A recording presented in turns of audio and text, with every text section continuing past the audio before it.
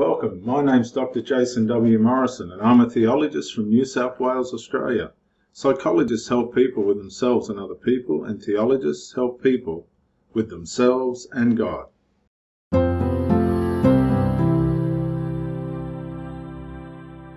Welcome, I'm Dr. Jason W. Morrison, theologist, New South Wales, Australia, and let's have a look at this. 2,000 years after the crucifixion, men claiming to be Christ are still making headlines. And one in particular has made more headlines than most. I've been given exclusive access to what the media has described as one of the world's most worrying cult leaders, Alan John Miller. Actually, I've had a 2,000 year life and and my name is Jesus as well. So I, I, was born Jesus of Nazareth in the first century. He has been compared to David Koresh, the cult leader whose followers died in a mass fire at Waco. He's been described as the face of evil with apocalyptic predictions for the end of the world, he breaks up marriages and uses his followers for sexual favours. A friend of mine came to me one day and he said, I met this bloke and I reckon he's Jesus. You know, how arrogant is that and, and what a wanker. I have read he has a compound and his followers are setting up home with him. Alan John Miller, or AJ as he likes to be known, believes he is Jesus and he's deadly serious. The Roman soldiers weren't certain as to whether I'd died or not yet, and so they actually speared the side of my body uh, up into the heart. And the world's media are taking note as he broadcasts his teachings on the net. I'm Jesus, but most people call me AJ or Alan John Miller. I'm claiming to be Jesus, that's true. Um... How does it feel, though, Jesus talking to us today and everybody watching at home and knowing that 99.9% of that audience are mocking you, are laughing at you, are saying, This man is bonkers and she must be as bad as him. He's invited round the globe to teach divine truth with his partner, Mary Luck, who also believes she is reincarnated. Oh my god, this is this is true. Like this guy is Jesus and I remember it. And actually, I remember who I am. Like, I understand who I am now. I had to agree to be filmed and hand over my footage in order for me to get exclusive access to AJ and Mary. I travelled 10,000 miles to his remote home in the Australian bush, an area known as the Bible Belt, to find out the truth behind the media claims.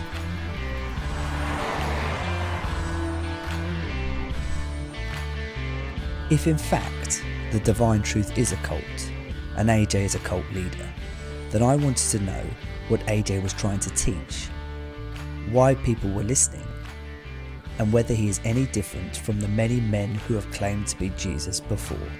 And if he's really Jesus, and I really believe that, holy crap, I got to, I really got to embrace all the things he's saying. AJ used to be a property developer and IT professional but gave it all up 10 years ago in the realization he is Jesus. Five years ago, he met Mary Luck, who believes she is Mary Magdalene. We took a three hour drive into the heart of the bush and the Australian Bible Belt to AJ and Mary's remote home, where it has been reported police were called because screams were heard from the Divine Truth community of worshippers who have set up home in his compound. I was eager to find out the truth behind these worrying claims.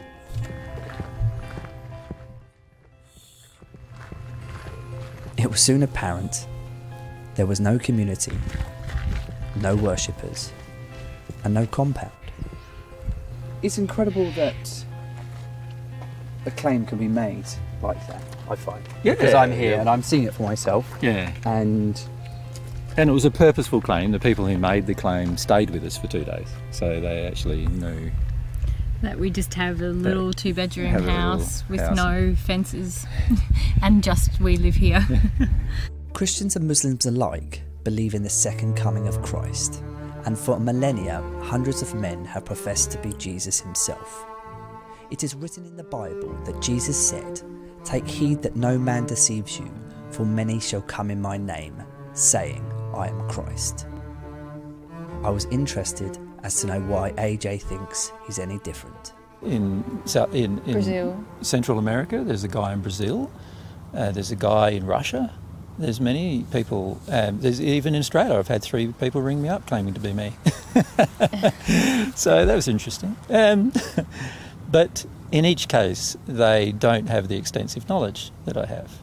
And they also don't display much love in their day to day activities or day to day life. So the guy in Brazil, he just sits on his throne actually. He has With a a throne with a crown. crown on his head, and he sits there, and people come and kiss his hand, and he wants to be worshipped.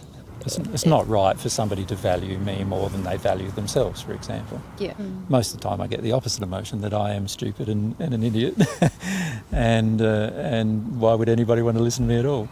So, can you describe to me why you believe that you are Jesus of Nazareth? Well, I don't believe I'm Jesus of Nazareth. I, I know I'm Jesus of Naz- Nazareth. Um, I suppose it's the same way in which you know that you're Thomas Leader, and that is that you've had a life experience that you remember. And for me, it's the same kind of thing, with the exception that I remember my life of 2,000 years rather than Am I funny? What do you mean by funny? Am I funny? the 50 years that I am right now. So I remember my life in the first century, shortly after I was born, around two years of age onwards. I remember pretty clearly most of the events that occurred in my life in the first century. I remember a lot of the events that occurred in the spirit world through my 2,000 years of life. I don't remember all of them yet because I've still got some fear associated with remembering some of them. But, uh, and I also, of course, remember my life in terms of returning back to earth, how that felt, and, and the experience of that, and also then having this life. So, so it's all to me one life. It's not, uh, it's not like I believe I was somebody else. Uh, I know who I am, and I know how you know old I am, and, and so forth. And I remember all of those events throughout my life. Can you believe this guy? He thinks he's the Lord Jesus Christ. But it's not just AJ who believes he has returned to Earth. His partner, Mary, believes she is Jesus' wife from the first century, Mary Magdalene.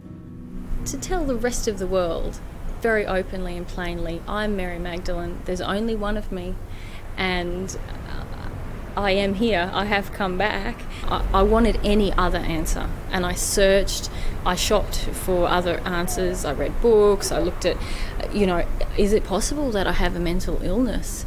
Uh, is it possible that some Is it possible?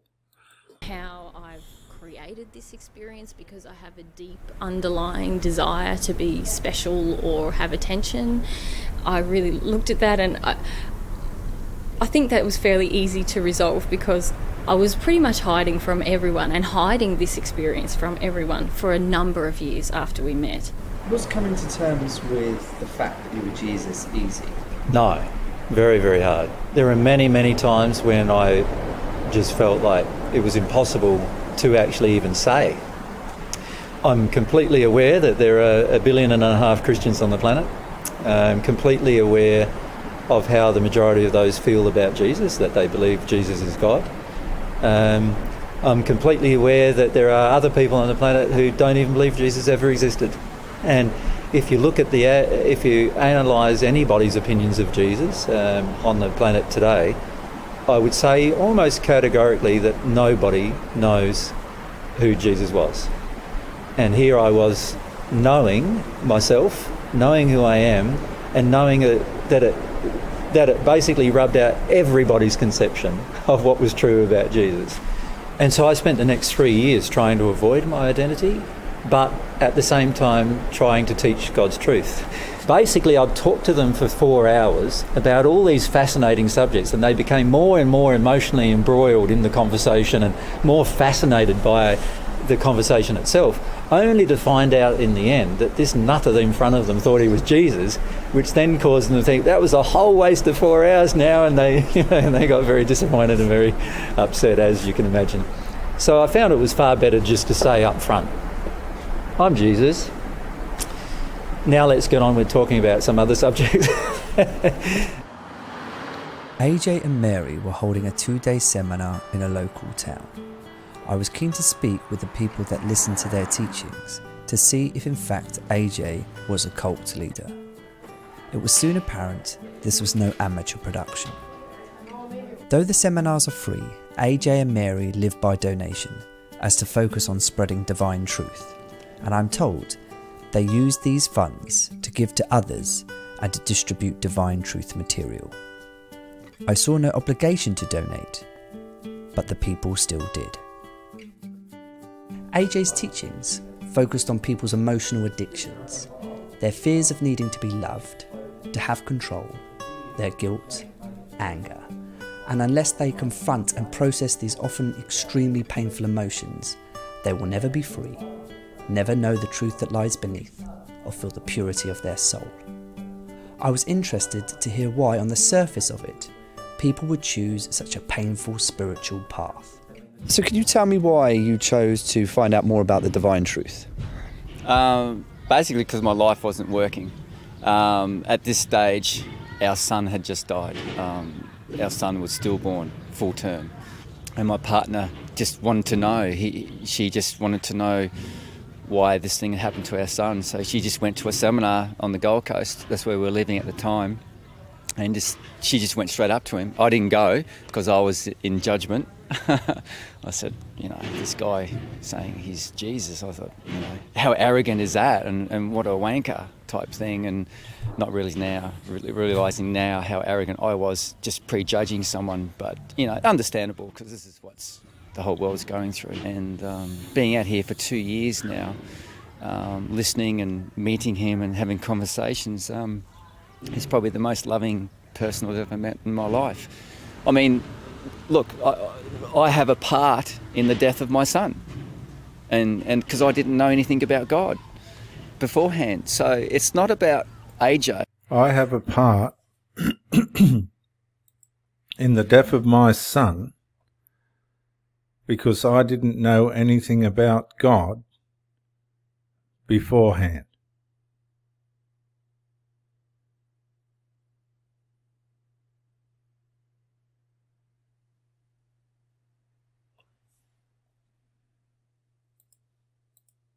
At the end of the day because he's just a person who's saying he's Jesus. and it's taken me two years to sort of be honest that maybe he is, but then not get hung up on that because it's about the message and the truth. So these people are under cognitive dissonance. They don't want to face the deception. Now, anybody that be walking around saying they're Jesus, you'd have to be skeptical of. Um, somewhere along the line, this thing will have to come undone. But these people have chosen, because of what he is saying, that he must be Jesus, or that I have to find a way in my mind, despite my opposition to this, I have to find a way to believe that this person is Jesus. Um, it must be very difficult to feel that you are, in part, responsible for the the loss of something so so very precious to you. Um,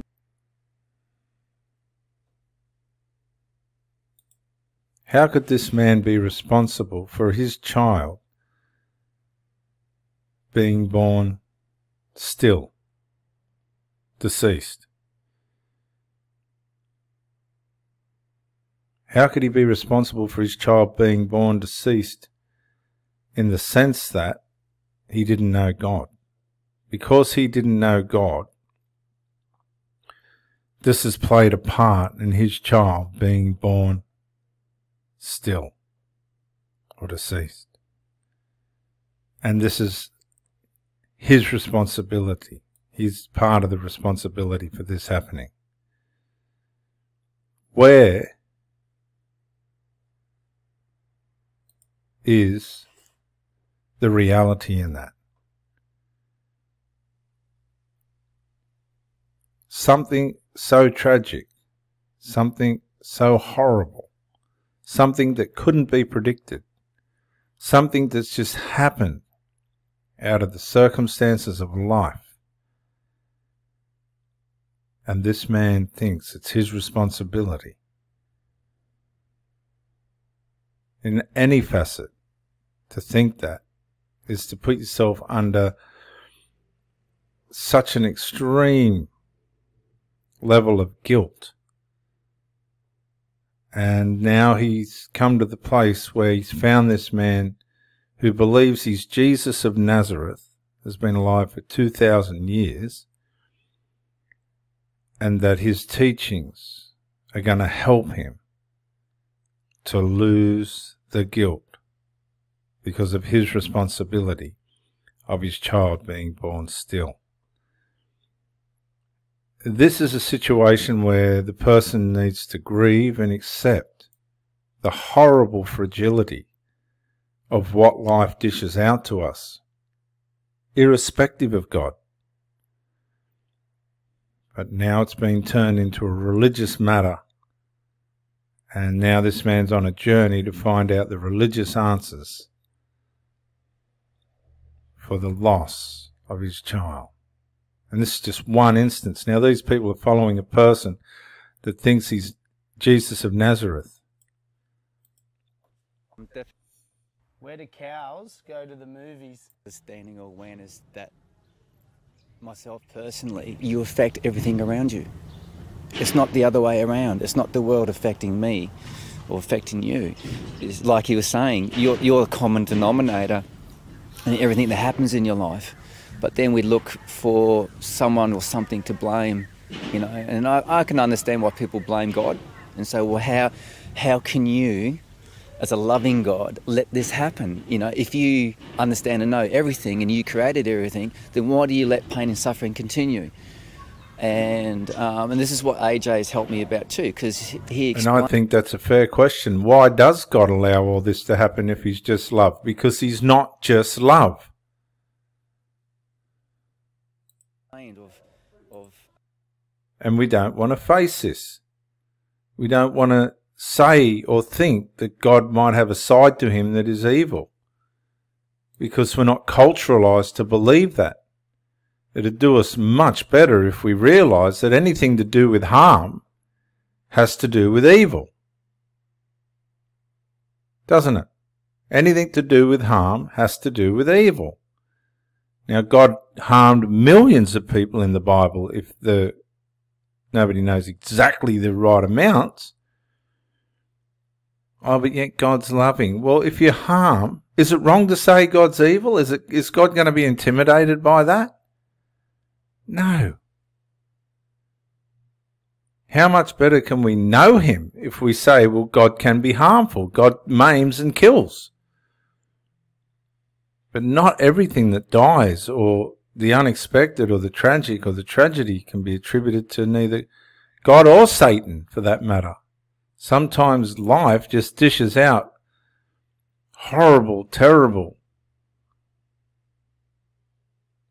losses and, and maimings that are just part of its course. That's why life can't be taken for granted. Now let's get back to this man that thinks he's the Lord Jesus Christ. For goodness sakes. Um, how man's soul condition has degenerated over millennia, uh, generation to generation. So, man's soul condition was degenerated when Adam and Eve fell in the garden. It's not gotten any worse. We're left with the tab.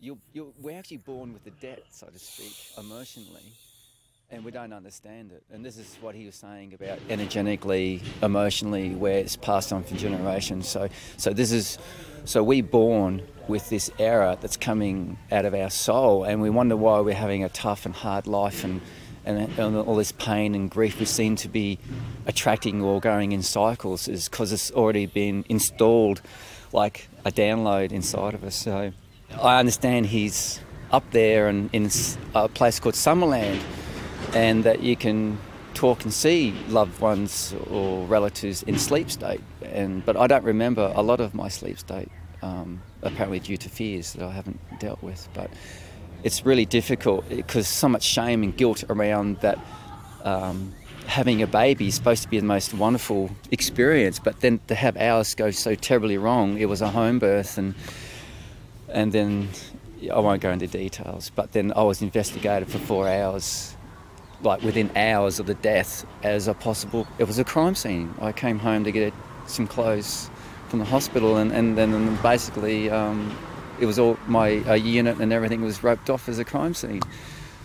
It was the worst experience of my life. But again, that represents the um, the devastation that's already in my soul, and so I'm still trying to understand it all fully. I found it extremely sad to hear that mm. Jason felt responsible for such a tragic event. And it is extremely sad. It is terribly, terribly sad to think that somebody feels responsible for a stillborn child. AJ believes many of Jason's views are in contrast with his teachings, and that Jason is unnecessarily blaming himself. AJ be- Now, AJ thinks he's the Lord Jesus Christ, and his wife thinks that she's Mary Magdalene. Would you get tied up with this mob? Would you go even near these people? believes that Jason They don't know who they are themselves. has a part to play in his son's death because he is his father, not because he didn't know about God. And there are also many other factors which would have contributed beside Jason. AJ told me the complexities of the divine truth belief system are not always fully understood by the people that follow them. I understand why tragic events are blamed on a loveless God. I was interested to hear how divine truth, a belief system based on love, Now, this is the thing. If God allows harm and sickness and evil, and has a side to him, whether you want to agree with it or not, that is capable of evil, it doesn't mean that he's not loving, able to love. And this is a difficult part, trying to work out between a God of love and a God of evil. You can't have one not the other, because you'll never understand who he is. You'll never understand why Jesus died on the cross. can explain how such suffering can occur. How do you explain um, things like malaria and children dying of that? Well, most of these diseases, again, are naturally occurring diseases which our body should be able to um, fight against as long as our body is in complete harmony with love, as long as we don't have emotions within us that have been usually imposed upon us by our environment. That What he's saying then is if you're emotionally sound, you'll have no implications with disease. You'll be able to overcome all disease. I'm sorry, but I don't agree with that. that are out of harmony with love, our body will be able to fight any of these uh, diseases and and actually not even experience them in, in in all cases. So what he's saying is, if you're suffering with a disease or something like that, you're out of harmony with love. I think that's a very cruel and horrible and shallow statement to make. So, whenever anybody experiences disease of any kind, it's because the, of the lack of love that's either ex- that exists within the soul of the individual that is usually caused by, and in case of children, is always caused by the lack of love in the parents and in society generally. So what a horrible, horrible thing to say. Almost everything, well, everything that actually occurs, I'll just pull over here, um, inside of the body of an, any, any individual, anything that occurs inside the body of any individual occurs because of the environmental conditions that have created soul based feelings inside of the individual that are out of harmony with love. Now, in the case of a child, usually those feelings are being caused by their parents or their Now, I just want to say something right now. Nobody has perfected love. No human being has perfected love. Some are very good at it, but nobody has perfected it. It's impossible. So what that leaves us to the mercy of then is, according to this man's understanding, disease and all the other stuff that's going to harm and maim humanity. Their immediate environment. As wide as there are possible emotional experiences, causes the wide variety of diseases. So obviously, every single disease has its unique signature emotionally as to what is its cause. Every single cancer, for example, the different types of cancer have specific emotional causes related to the location where the disease began. If a woman has cancer that begins in her left breast, then this is all about projections she has to women, and in particular, it would have began with her mother, which is a suppressed rage, which is overcoming, uh, which is over the top of an addiction, and the addiction is wanting women to do what she wants in order to receive approval from women. So if if the cancer is in the right breast, then it will be with men rather than women. So even the predisposition of a family tree towards a specific type of disease is related to the family tree having a predisposition towards certain emotions. We all understand that stress unchallenged causes detrimental effects on the body. Mm. So, on a fundamental level, we understand that emotions can cause disease. This divine truth. What do you call a dinosaur with no eyes? Who have lost loved ones to cancer. However, if what AJ is saying is correct, and science can prove his claims, then he could be holding the answers for a cure for all known diseases. It was reported in the media that AJ's mother was worried for him because she thought he may have mental health issues, an allegation I wanted to get to the bottom of. My both mothers in my first century life and this life claimed that I had mental health issues. Um, so my first century mother Mary claimed that I had mental health issues. Myself, first century mother Mary this is Mary that the Lord conceived the Lord Jesus Christ in by the Holy Spirit. Thought he had mental issues, and so his mother does today. This is this is absolutely office chops. Quite frequently, and often she claimed that to protect me. She felt from people attacking me and finish up killing me. In this life, uh, my mother um, felt initially when I claimed that I was Jesus that I might have some mental health problem. Of course, I went along to the doctor and had a chat with him, and he was pretty much fine after I had a chat with him. And uh, and of course, my mother by the nine month time felt. Now, the I doctor may have been fine, but I don't think this man is. Didn't have any mental health problems, and she was quite regretful that she'd started the entire process. AJ has goodness. two sons from a previous marriage. I was given a unique opportunity to hear what AJ's son Tristan thought about his father being Jesus. I definitely believe he's Jesus. Um, even now, like if he said next day, "Oh, actually, it's all I was all wrong," um, I don't, I don't actually, I'm not actually Jesus. I wouldn't be that upset. Um, I'd feel a little bit weirded out because, um, like, I'm pretty sure he is Jesus. Like, I, I think I'd be start believing that he thinks he's wrong. Well, um, like father, like son. Um, but um, from the first time he told me, he was actually going through a lot of emotion himself. So for him, he was he was crying and um, uh, he was trying to process through a lot of grief, sadness, um, some of the, the memories of torture that he had, some of the fears he had of of what's going to happen if he says he's Jesus.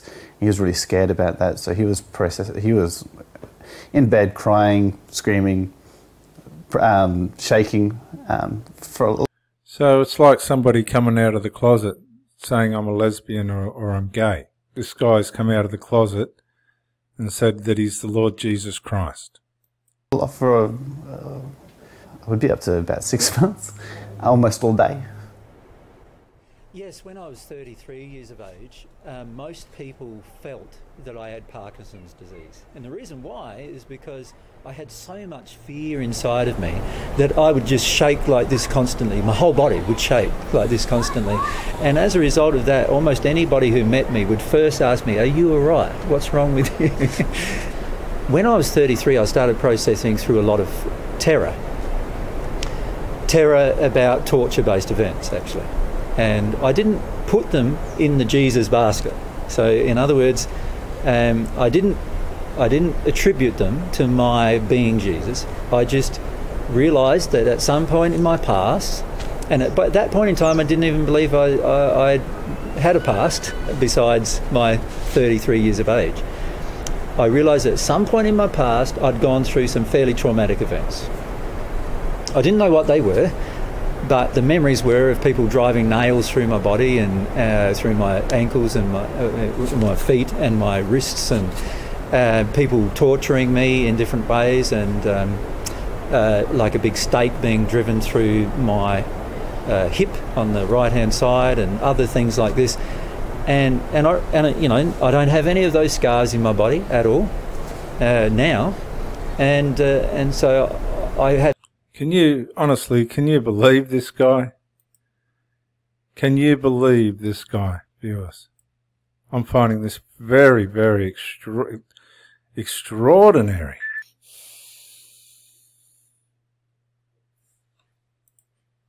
had no way of intellectually resolving why I was having these emotional experiences, but I just decided to feel them. And as I felt them, the terror disappeared. And eventually it got to the point where I had no, hardly any terror anymore, and I was nice and calm and no longer seemed to have Parkinson's. It was another seven years of processing these painful emotions before AJ came to the conclusion he was Jesus. I'm told that actually seven couples have returned to Earth from the spirit world. Some are unwilling to reveal or accept their identities, and others are coming to terms with the memories they have. Like if we did what we were doing, say, in America at the moment, where 70% of them are Christian and very, very militant, some of them, then it might not be as safe to do some of the things we're currently doing. So this man's aware that his deception could cause him harm.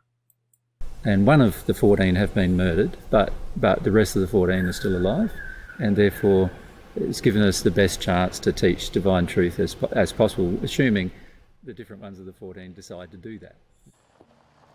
AJ's neighbour Dave, or Cornelius, his first century name, is one of the 14 and he's agreed to speak to me about his life in the first century. I was um, born in Sicily as a little kid there and just lived in a little house with a little sort of cottage, I guess you call it, stone one, with some my parents and sisters. The sisters are a bit too old. Too old. Look, honestly, can you believe that there's people like this out there? This is in Australia. I'm embarrassed. My goodness me. Really, honestly. Sisters.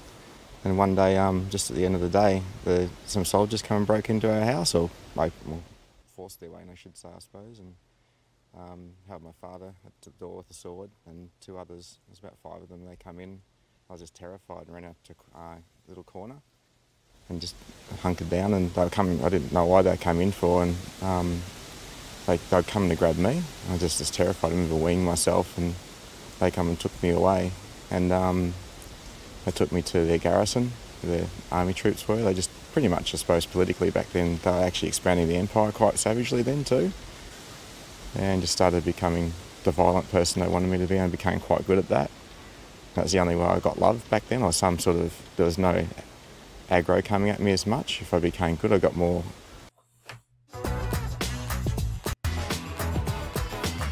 Sorry about the ads, goodness. Acceptance, I guess.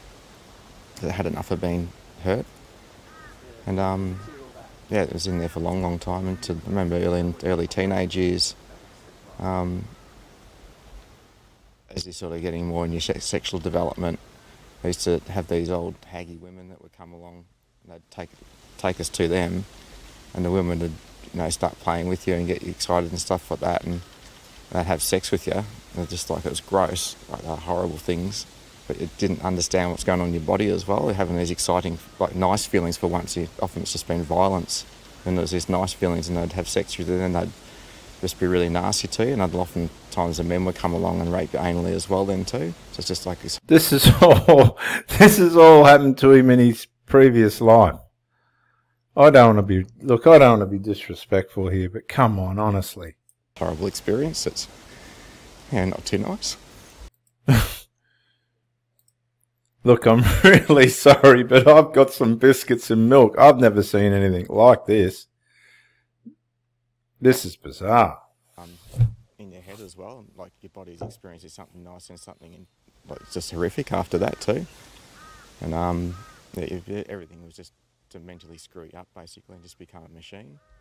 Cornelius has still come to terms with his first century existence. There are chunks of his life he is yet to remember, but he vividly remembers his final months on earth when he met Jesus. And so, yes, one of my slaves was sick at that stage, and um, I took the slave to see this guy. I wanted to see what he like if he if he is who he is to prove it to me. And he actually healed the, this my um, slave and just gave me a lot of faith that what he was saying was true. It was my men that actually had to go, and me in charge of them, that um, had to go and do the execution basically, or the crucifixion as they call it. And, um, Are you finding this hard to believe?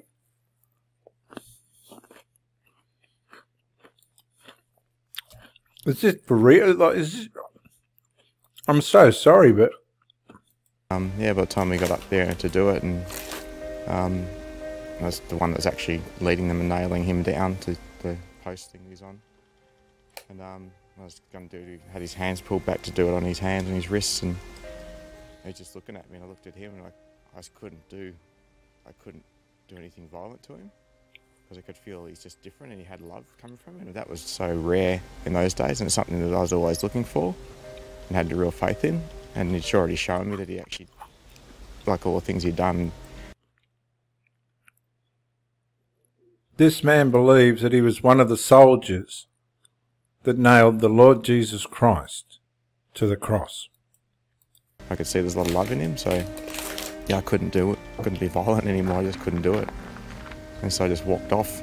So they hung me like that and crossed at the risks, uh, wrist, because if they hung me through the hands, then my hands would tear apart and not bear the weight. But the weight could be borne much better by hanging a person through the wrists and nailing the feet crossed over, like so.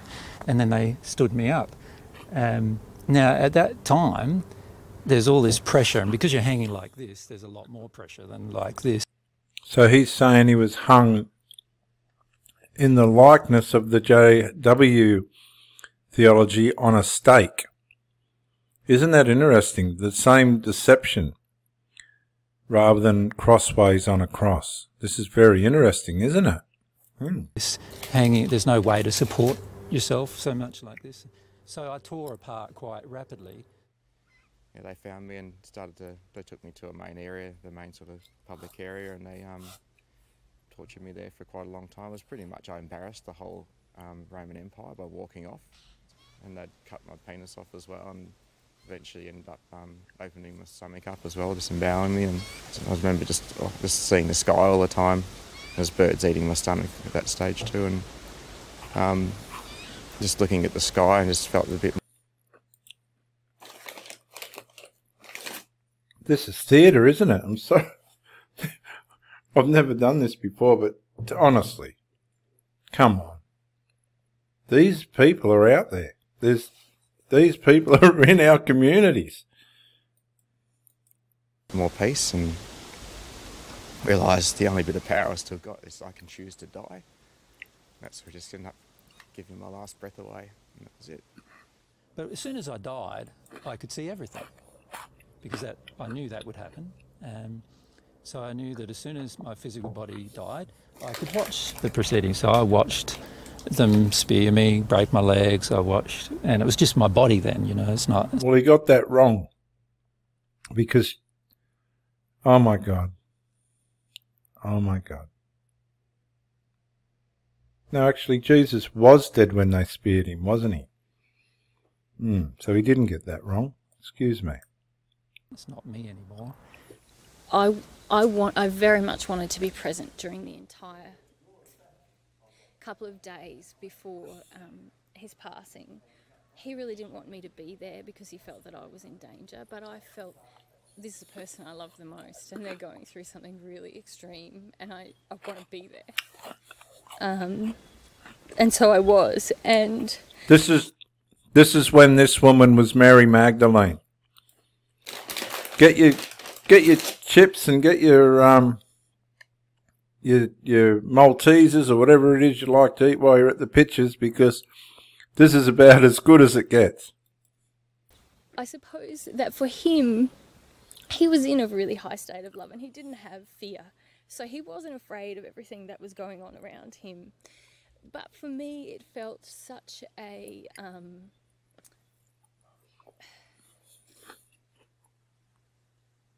an affront, I suppose, to the love that he did have inside of him. Here is someone who is so gentle and so wishing to love everyone and to teach beautiful truths about God and someone without judgment, without violence within him, who was being basically um, tortured and humiliated. People were attempting to humiliate him in the worst kinds of ways. For a lot of us after his passing, it was, is, it was as if this dream that we all had of bringing God's love to earth uh, and showing people the power of that love was lost. Um, I had foretold to the disciples that, um, who were present that. Uh, this was when he was Jesus. Uh, I would return uh, to them, so after my death. And I told them that I would return to them around three days or th- after my death. I calculated that time based upon how long it was going to take for me to decompose my own body out of the tomb. Uh, because I. Now, the body didn't um, see corruption, it says in the scriptures. If you would excuse me, I'm just going to get some more milk and biscuits. This is amazing. It's like some kind of a joke, isn't it? It could hasten the decomposition process of my own body. So, how did you decompose your body? And what, all I did was I knew the laws involved with decomposition is about providing extra oxygen, oxygen to the process. And in doing that, uh, I finished up decomposing the body within two days. Oh, a commercial. You might as well watch it.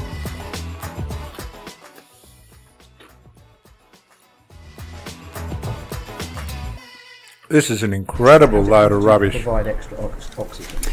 It's a matter of uh, channeling uh, energy. It's like um, if you can, you know right now, right, that your entire body is just really energy. There's no, you're not really a physical person. That, Oh, God. Um, you know, the only reason why it feels physical is because you, we Because we it are dense, and therefore we're able to touch it. But but it's actually vibrating energy. You know, uh, electrons running around the nucleus is the understanding nowadays. But once you understand how the energy flows, you can start channeling and, or moving that energy from one location to the other location relative. So that's spiritism, okay? easy. The problem in the tomb was that there was not much light available, and so all I did was provide all of those particular elements with the energy that I had from my own spirit body uh, to speed up the entire process.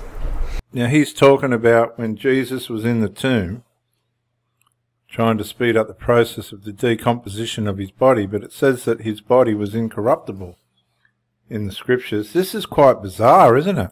So, one of the things that I then did was I allowed myself to, um, like, take to pull together matter in a very similar way that I pulled together energy in order to decompose my body. I could also pull together matter and form a body, and appeared to Mary first, three days later, basically.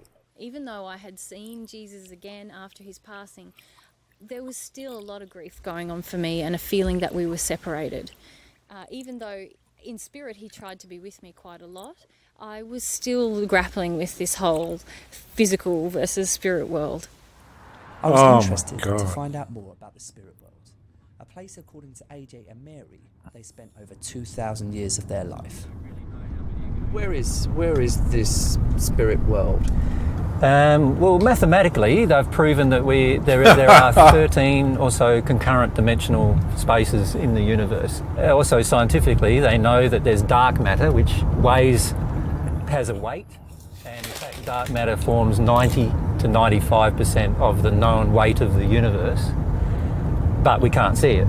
So there's all these, there's all this matter that exists in another dimensional space that we that I'm referring to as a spirit world, but it's actually mathematically proven to be true. Uh, but people don't think of it that way. Does that make sense? So, what people think of as heaven or hell or anything in between are, are actually the existence of multi-dimensional spaces in which our body, our spirit body, can exist and reside. As you can imagine, if you passed into the spirit today, he doesn't look convinced. you would still have the same loves that you currently have. So you'd still love your wife, you'd still love your child, and you'd want to let them know that you're still alive. That's one of the first things you would probably want to do, right?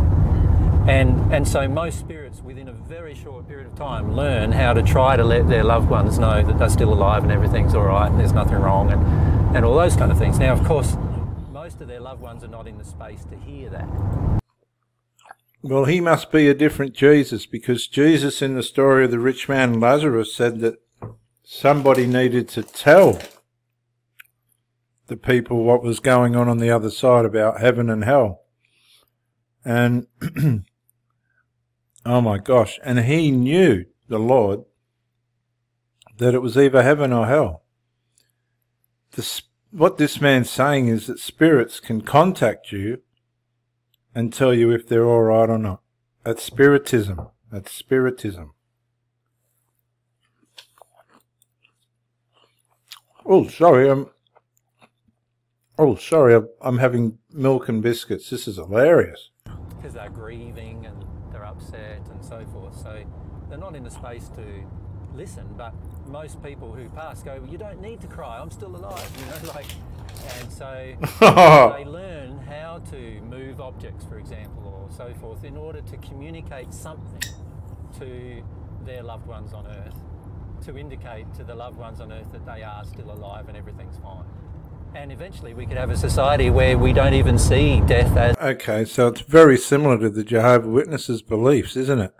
There is no hell, according to this bloke. as a stop to our life. We don't. It doesn't hardly even impact upon our life at all. So, do you believe dinosaurs roamed the world? Definitely. I know for certain because I've seen them in the spirit world. Everything that has a central nervous system on Earth, when it dies, it also has a spirit body. Because at the time of conception, if there's a central nervous system in the physical body, a spirit body is also created for the same organism. So when you uh, use as your primary function your spirit body, you can go to places where there are dinosaurs. AJ is not alone with his views on the spirit world. I met up with Pete, who follows divine truth. Another and one. is also in close contact with spirits. I think probably two or three was probably the first time I saw spirits. Um, what generally used to happen, these spirits, I'd be going to bed like three, four, five, six, and they'd want to come and sit on the bed and have a chat. So, and some of them were really nice, and some of them were really terrifying. Um, as a child, like your fear is that you're going to get overwhelmed with just thousands and thousands of people wanting to come and talk to you, and you're never going to be able to sleep for a start because once you talk to one, then suddenly everyone knows that you can talk to them, and suddenly one after the other, there's, they're coming for all different levels. These days with Google, like it's awesome. You know, you can talk to a spirit and then Google it later. Um, so I think at the moment as a world, like we just don't realise actually the pressure that the average person is under from spirits who are constantly at them. You know, like obviously there's a lot of good that comes from There's point there, like demons are at people, and they're tormenting them and trying to run them down. from it, but you know, we, we're totally um, oblivious to really what's happening. How do people how do people leave themselves open to be attacked by spirits? Well, the easiest way to be open to spirits is when we don't want to be connected with who we are or our bodies. So, anytime we're not wanting to feel our feelings or we want to we want to avoid. So, often people that have had a major life are sick of their job or sick of what's going on in their life. We get to a point where we just want to step out of ourselves. So often in those situations, that's when a spirit will come. Yeah, I can help you. I can be part of you. So that often in those sort of times that happens. But probably more in the society we live in now, drugs and alcohol, like um, that's the ultimate for a spirit. So if you think of all the greatest rock songs and all the greatest music that's been written on the planet, Most artists have to, unfortunately, say that they were stoned or drunk or under the influence when they wrote their music. And generally, all it means is that spirits in the spirit world are writing the songs for them. And that, you know, when they get into that state, it allows the spirits to be able to influence their writing and influence their craft. Once a week, Pete and his fellow Divine Truth follower Fabio hold a channeling to help spirits. Another one. Over dinner, Fabio talked to me about their communications with the spirit world. So we were, we were channeling one day, and a person came to, to talk, and it was a young boy who was an actual suicide bomber. He actually bombed himself for some religious cause, and he strapped a bomb to himself, jumped on a school bus with soccer, young soccer boys, and, and blew the bus up. And what had happened is that his dad, who had passed earlier, was influencing him to do these things through his thoughts. While he was still While he was still He alive. was a Earth. demon. And his father, already knowing the truth about what was really happening, still thought that it was the right thing to do. And knowing that he wasn't going to go to this special place. So his father basically wanted to kill all the those children on the bus. Yeah, yeah. And the, bad, and the other sad bit was God. with him was the mothers of those children mm. because they were on the bus too. They were quite angry at him, and it just became this big interlock of anger and. So we just helped him sort of understand that the spirit world is based on love, and that he could move to somewhere nicer. Because after Doesn't sound to me like it's based on love, and he looks very suspicious there, doesn't he? that has happened, my job's done. This guy will believe anything. He'll just go along with anything. This bloke. Oh, that happened with Heath Ledger when he died. Wanted to talk through my girlfriend was a medium then. And um, just in the garden somewhere in Perth, and she said, "He's there's someone here," and she'd been sort of talking to him just generally. And so we had a chat about it, what had happened and everything. He's really confused about what had happened and everything too. And he wanted to let his parents know that he died and he's alright. And I didn't really feel comfortable. To, I didn't even know where they lived, or I didn't even know he lived in. Though he's from Western Australia, I didn't even know he's um. He's talking about his child, Tilly. I didn't even know he had a child. Didn't even know a name called it Tilly, which is Matilda. I found Yeah. out. Yeah. So yeah, it's a, just feels odd to sort of.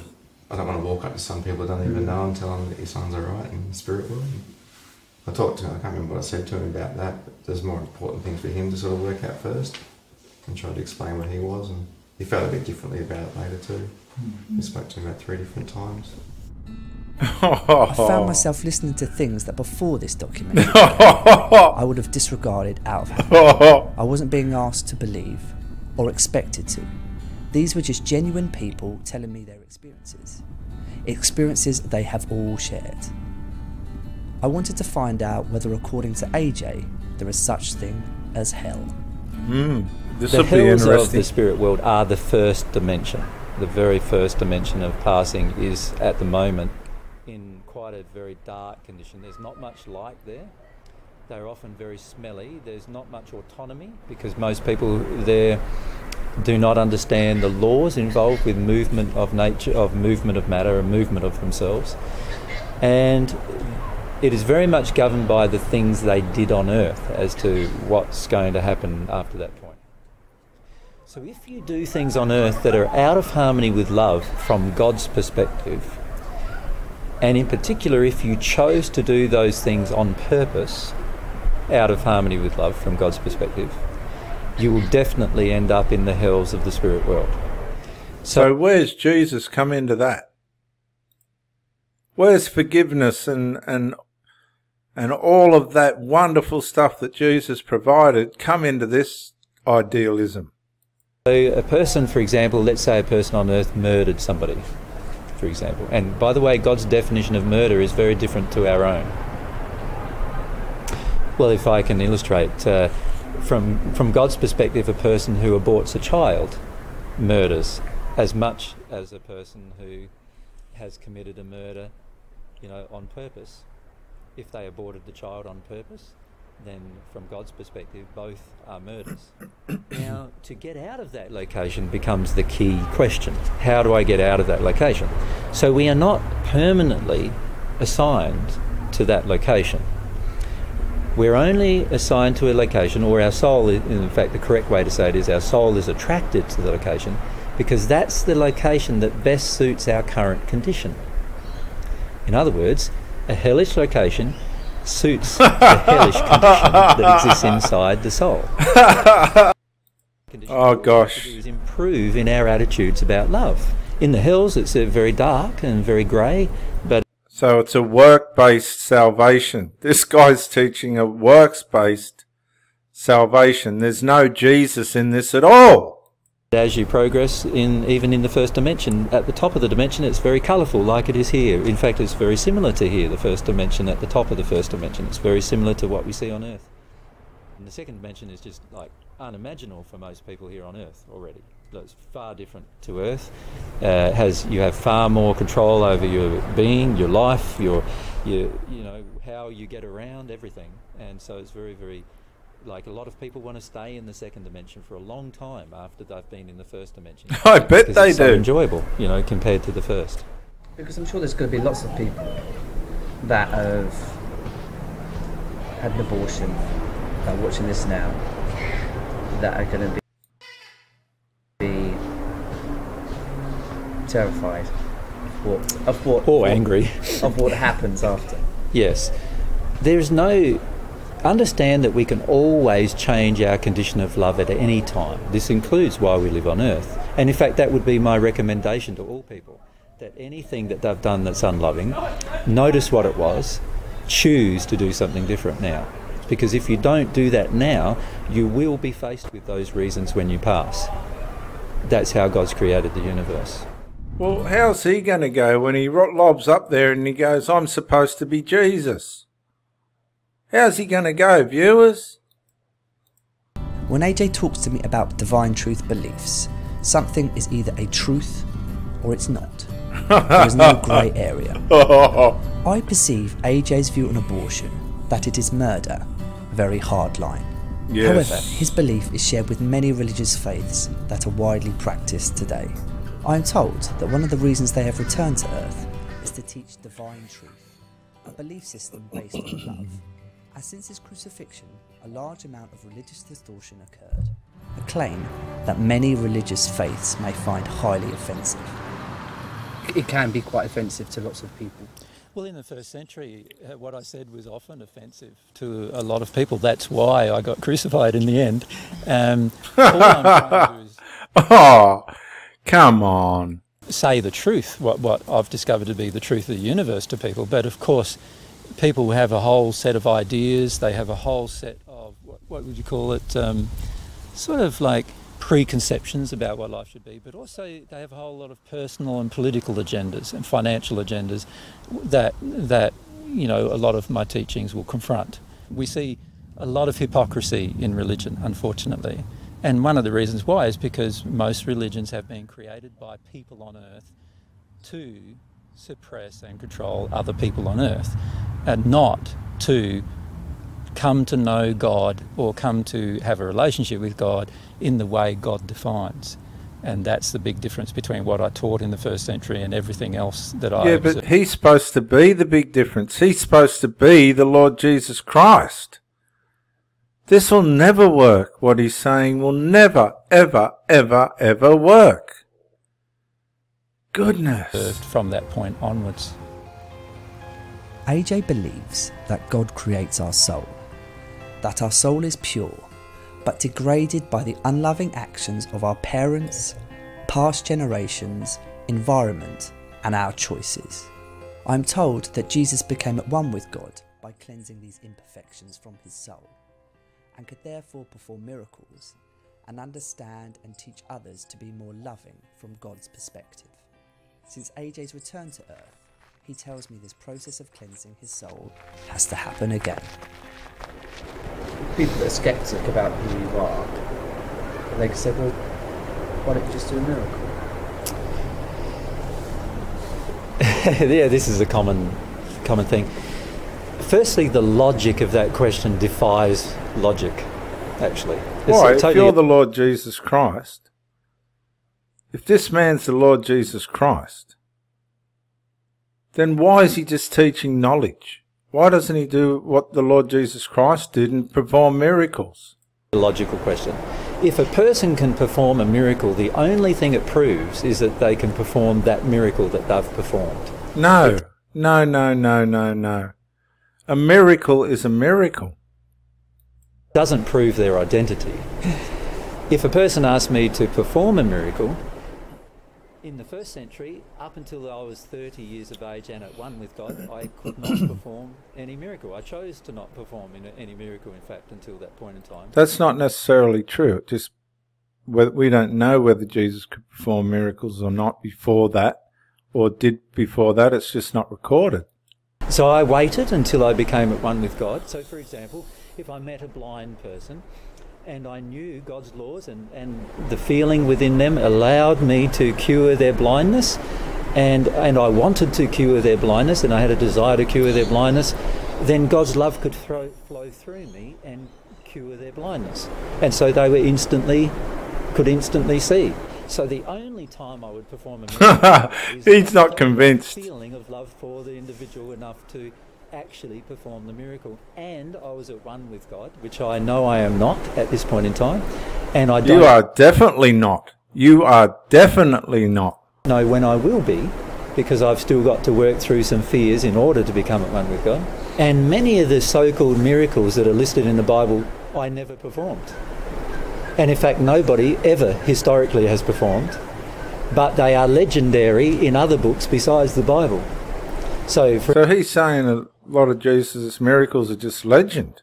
For instance, turning water into wine was something that Greek gods did before I arrived in the first century, and uh, and so therefore I had to have turned water into wine so I could be compared to a Greek god, so that people would accept Christianity. And that's a shame because I feel pe- a lot more people would have accepted Christianity if just the truth had been taught.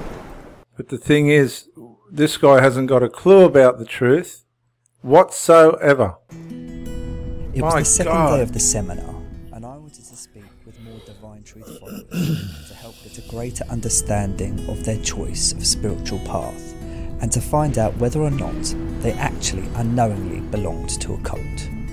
I think I think I've been part a part of a cult before. I was part of a church, and I had a lot of rules and regulations about um, being in that church. You know, we weren't allowed to dance, we weren't allowed to gamble. And with AJ and Mary, there's you know, if anything, they promote to you free will, but they explain to you, work out for yourself what's loving and what's unloving. You know, you'll feel the difference, and they're right. You do. You know, I don't, I don't know if you know, but um, I'm I'm pretty mediumistic, and um, I practice mediumship, and um, it's been really nice to be able to talk to a person like AJ and Mary who can explain to me some of the things that I've had no answers for throughout my life.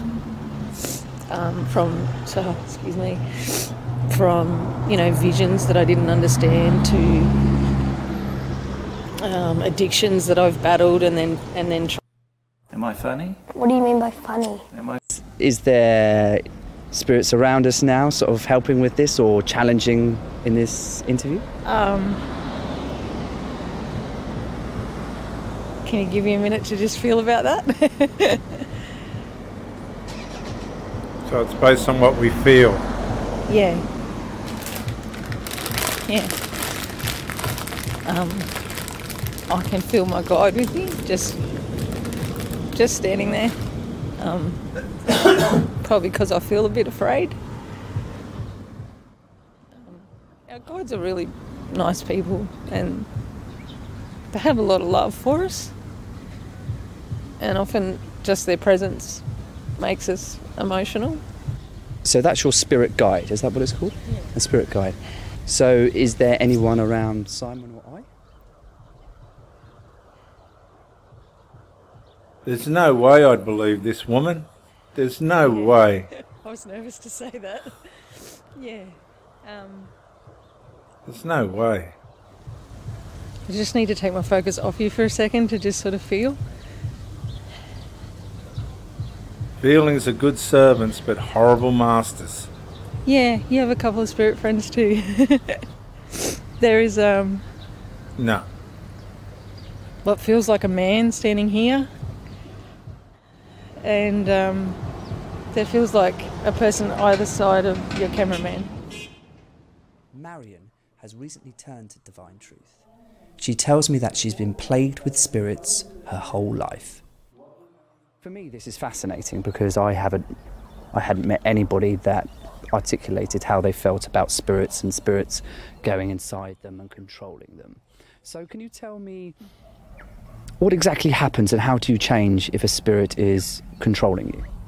I've been shown phenomenal stuff from the spirits, such as an ancient henge, probably 350,000 years old, in Tasmania, and I've channeled an, a male Aboriginal spirit. So a man has spoken through my vocal cords. Okay, so she's the been demonised. side in some ways, and the negative side is being told you're made of titanium after you've crashed a car and sending you down a cliff and your face smashing and your leg being ripped apart, and then thinking that you're fine and and going to the hospital and showing the doctors what's inside your leg and like really warped stuff as well.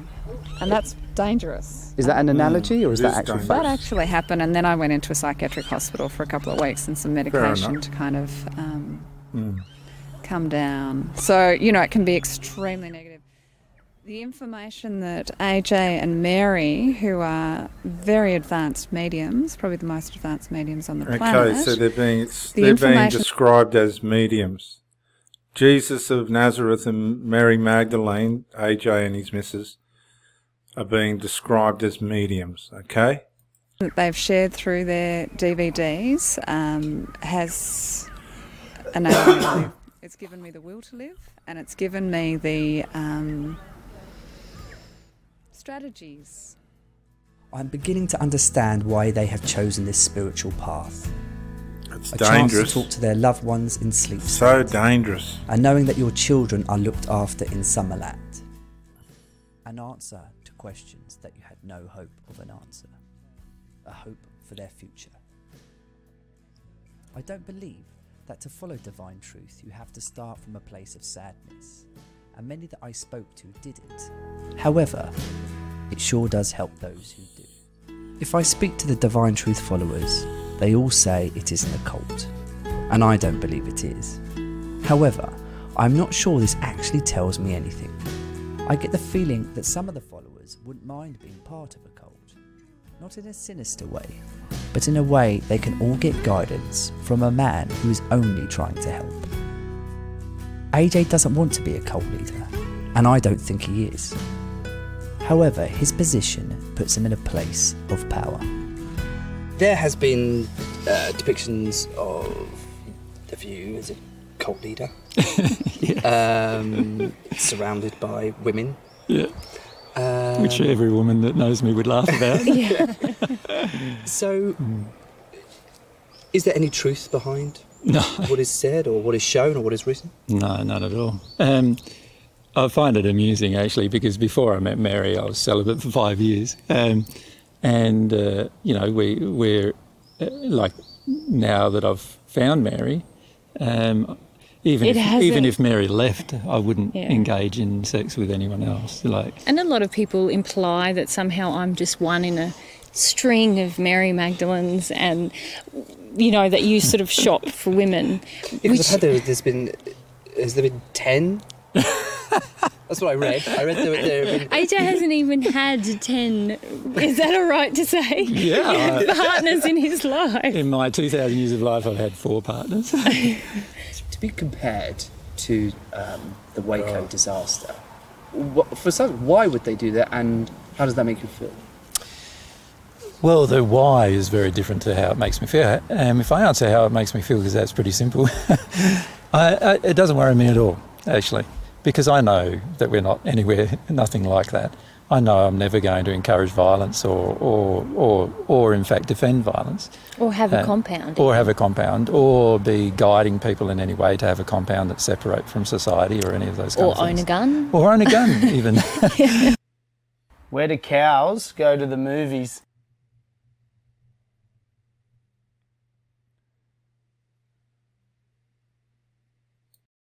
Yeah, Dr. Jason W. Morrison, theologist, New South Wales, Australia. I've put this on the end. I want to put this on the end of this video because um, we've just had some family members over and they looked up this guy on um, Wikipedia just out of curiosity because we were watching him on telly like it's amazing. And this is what we found. Divine Truth, which is the name of the guy's organisation, is a spiritual, metaphysical or non-religious movement based in Queensland, Australia. It was started in 2007 by spiritual teacher Alan John Miller, also known as AJ, who claims to be Jesus of Nazareth through reincarnation.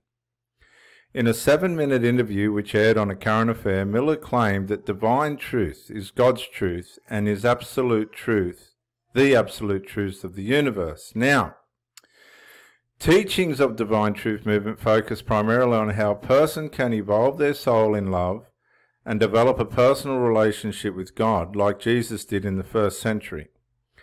This process includes prayer, longing for God's divine love, following one's loving desires and passions, taking personal responsibility for one's own emotions, as well as emotional clearing or emotional processing to clear the soul of emotional errors. Very, very similar to Scientology, isn't it? But get this.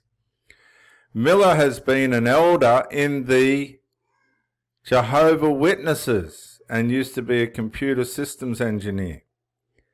In 2007, Miller's purchased a 16 hectare property at Wilkesdale, Queensland in Australia. And in 2009, Divine Truth listeners purchased another 240 hectare property with plans to build learning centres and a visiting centre for international visitors. And hundreds of people have bought dozens of properties that are located close to Miller, near King Kingaroy. Now, this guy was a former Jehovah Witness which is a millennium restorationist Christian denomination with non-Trinitarian beliefs distinct from mainstream Christianity. The group reports a worldwide membership of approximately 8.58 million, which is a lie. Adherents involved in evangelism and annual memorial meeting attendance, etc. So our friend here is an ex Jehovah Witness. Now look where look where this poor fellow's ended up as a result of it. So, oh my goodness me. My goodness me. All I can say, viewers, is this is Dr. Jason W. Morrison, theologist, New South Wales, Australia. You make your own minds up. But I find it, I, uh, during my video, I said it sounded very Jehovah Witnessism, didn't I? So this guy's using his knowledge of the Bible, which he's learned out of Jehovah Witnessism, and mixed it with his own um, idealisms, be it whatever they may be. Uh, and I would really be very careful of this kind of thing. Dr. Jason W. Morrison, theologist, New South Wales, Australia. Bye for now. Yeah, Dr. Jason Morrison, theologist again. I just want to say thank you for watching the videos and I uh, hope you got plenty of uh, self-rediscovery and freedom out of it. If you watched it on YouTube, please share or like, um, maybe even comment. If you watched it on Facebook, like, comment, share. Um, but most of all, get out and live. This isn't a rehearsal. You've got a one-off life. Don't let your loyalty and your faithfulness blind you to the life that you should be experiencing. Till the next video, thank you for watching and bye for now.